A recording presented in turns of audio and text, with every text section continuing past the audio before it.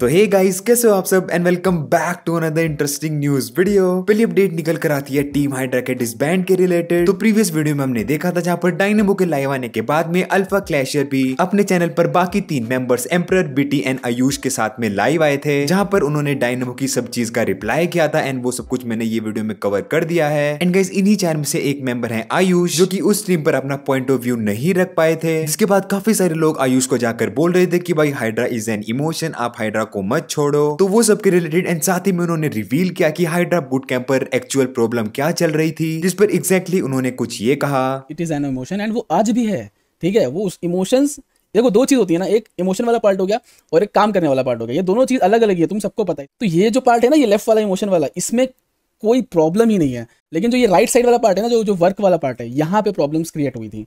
बस इतना समझो कि अगर तुम काफ़ी लोग कह रहे हैं कि भाई परिवार का थोड़ा अगर डाउनफॉल चल रहा है तो क्या घर छोड़ दोगे? नहीं छोड़ देंगे ऑफकोर्स ये बात है।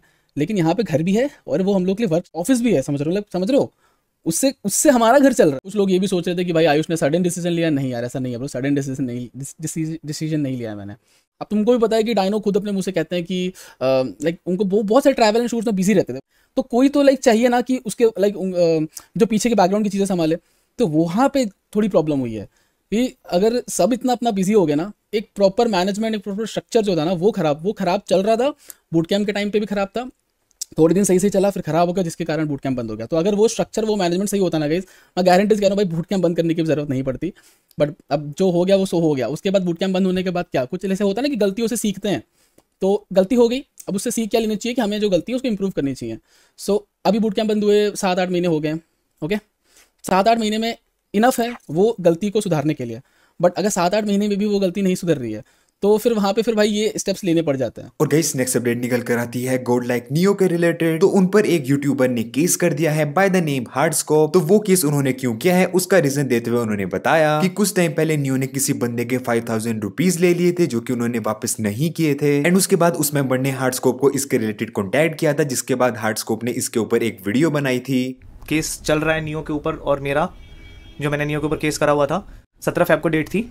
तो नियो के ऊपर मैंने केस ये किया है कि भाई, उसने मुझे गालियाँ दी, उसने मुझे थ्रेटन करा, मेरे घर वालों के ऊपर कमेंट करा, मेरी माँ को लेकर कमेंट करा, मेरे फादर को लेकर कमेंट करा तो बहुत सारी चीज़ें हैं। अब लीगल लैंग्वेज तो मैं उतना नहीं बता पाऊँगा, मैं दिखाऊँगा आपको कि कौन कौन से उस पर हमने करा हुआ है। और बाकी कोर्ट जो डिसाइड करता है, क्या डिसाइड करता है, नहीं करता, ये कम्प्लीटली कोर्ट के ऊपर है, ठीक है? नियो भी आया था गवाही। नहीं अभी तक तो नहीं आया है लेकिन आएगा तो मैं आप लोगों को ज़रूर बताऊँगा और वो कब आएगा वो भी बताऊँगा अभी ठीक है? एंड गाइस इसके बाद हार्डस्कोप ने ये भी बताया था कि हमारी कंप्लेन करने के बाद में नियो ने फाइव थाउज़ेंड रुपीज़ वापस भी कर दिए थे बट इसके बाद भी उन्होंने नियो पर क्यों केस किया है जिसका रीजन देते हुए उन्होंने ये कहा। उसने एक बंदे का स्कैम कर लिया था तो मैंने वीडियो बना के उसको बोला था कि पैसे वापस कर दे जिसका भी स्कैम कराए मतलब ऐसे नहीं बोला था कर दे मैंने बोला था कर दो क्योंकि हमने एक साइबर कंप्लेंट कर दी है अगर तुम पैसे वापस कर दोगे तो हम कंप्लेंट वापस ले लेंगे। और अगर नहीं वापस करोगे तो फिर हम आगे जाके एफआईआर और फिर उसको फॉलोअप लेंगे जो भी हमने कंप्लेंट करी है। तो उसने पैसे वापस कर दिए उसके, लेकिन कुछ भी नहीं बोलता तो भी चलता था, ठीक है? लेकिन उसने बोला कि मेरे पे फेक वीडियो बनाई है और स्कैमर मुझे बोल रहा है, पाँच हज़ार का मैं स्कैम करूँगा, क्या? और भर भर के गालियाँ वालियाँ दी। तो मतलब इमेज ये हो गई कि मैंने फेक वीडियो बनाई है।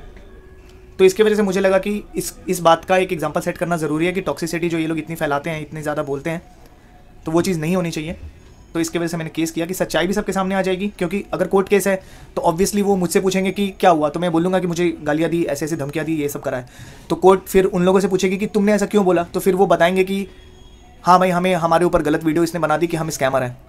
तो फिर कोर्ट बोलेगी कि, भाई, तुमने ऐसा क्यों बोला था कि स्कैमर है? तो वो पूछेंगे कि, तुमने क्यों बोला भाई, नहीं को स्कैमर तो फिर मैं बताऊँगा कि, भैया जी, ऐसा है कि इसने स्कैम करा था?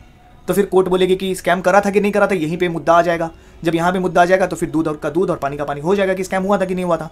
तो नेक्स्ट जो डेट आएगी अपनी प्रोबेबली प्रोबेबली मार्च की आएगी। और गाइस नेक्स्ट एक काफ़ी बड़ी अपडेट निकल कर आती है सौरभ जोशी व्लॉग्स के रिलेटेड तो गाइस जैसे कि अभी आपको पता होगा कि भाई हमारे इंडिया के नंबर वन ब्लॉगर है सौरभ जोशी व्लॉग्स फिर चाहे आप देख लो डेली व्यूज़ में नंबर ऑफ़ सब्सक्राइबर्स में या फिर चैनल पर टोटल व्यूज़ में एंड भाई हर किसी को एक उनकी इनकम जानने की एक्साइटमेंट तो रहती ही होगी। एंड गाइस ये चीज़ सौरभ जोशी से गलती से अपने ब्लॉग में लीक हो गई जहाँ पर उनकी एग्जैक्ट इनकम दिख गई। तो सबसे पहले तो वो मोमेंट आप स्क्रीन पर देख सकते हो उसके बाद देखते हैं कि भाई इनकम कितनी है। घर पहुँच चुके गाइस तो सभी यहाँ बैठे हैं। मम्मी हम मस्त मंदिर में गए मस्त हमने कुकिंग भी की बहुत मज़ा आया। ऑफ़ रोडिंग भी की थार में। आज तो थार ऐसी जगह घुसा दी। तो भैया इस रात के आठ बज चुके हैं तो डिनर आ गया हरी सब्ज़ी रोटी। तो गाइस ये इनकम है उनके चैनल पर लास्ट 28 डेज़ की। 98,510 डॉलर्स जिसको अगर हम इंडियन रुपीस में कन्वर्ट करें तो वह ये होता है 81 लाख 53,230 रुपीस एंड अगर हम इसको 12 से मल्टीप्लाई करके देखें कि पूरे ईयर में अराउंड कितनी उनकी इनकम बनती होगी तो गाइस ये बैठता है भाई 9 करोड़ 78 लाख 38,000 मतलब नेक्स्ट लेवल यार। तो बस गाइस फ़िलहाल वीडियो में वीडियो पसंद आया तो वीडियो को लाइक एंड चैनल को सब्सक्राइब कर देना। एंड हाँ आप मेरे को इंस्टाग्राम पे भी फॉलो कर सकते हो। मिलते हैं आपसे नेक्स्ट वीडियो में। तब तक के लिए बाय बाय